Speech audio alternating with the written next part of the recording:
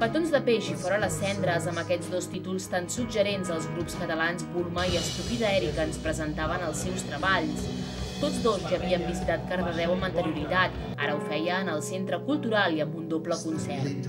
La nit va començar de la mà de la música de Bulma, un grup vingut del Garraf que amb el pop com a motor ens acosten al seu primer disc de llarga durada, fruit d'un projecte sincer i transparent, un disc que van gravar en directe, cosa que té molts punts positius. Sobretot, una experiència brutal i sobretot taules, taules, moltes taules, el fet de, de que tu estàs gravant en directe no? et fa et fa agafar les teves cançons, les cançons de Bulma en aquest cas, i, i aprendre moltíssim sobre aquestes cançons, estar rodant les cançons durant molt de temps perquè després les puguis estar gravant en directe. I crec que això és essencial, no? Després, quan presentes, és com estar, no a casa, però perquè tens el públic, perquè condiciona i tal, però és un, és un tema que, que et, fa, et fa aprendre moltíssim.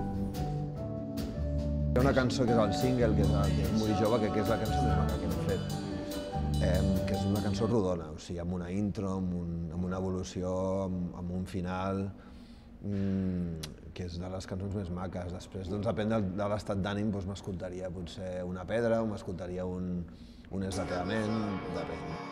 Seguidament, Estúpida Èrica, el liderat per Lluís Boira, cantant i compositor de la banda, va ser l'encarregat de posar el punt i final a la nit, van fer un concert de presentació del seu darrer treball, Fora les cendres, un CD on han deixat la banda més folk per endinsar-se al rock.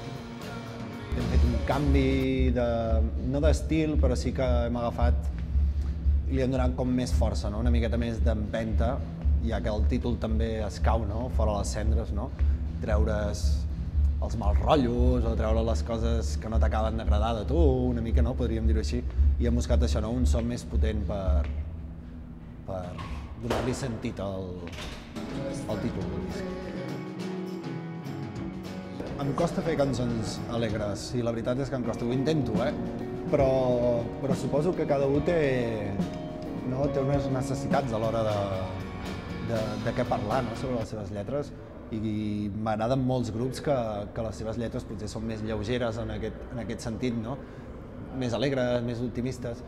Sí que en aquest disc tot i la melancolia hi ha un punt de llum, però sí, sóc, sóc fan de, de fer lletres tristes. Hi ha gent que intenta buscar la fibra per una altra banda, no, jo la busco per aquí a l'hora de tocar-lo.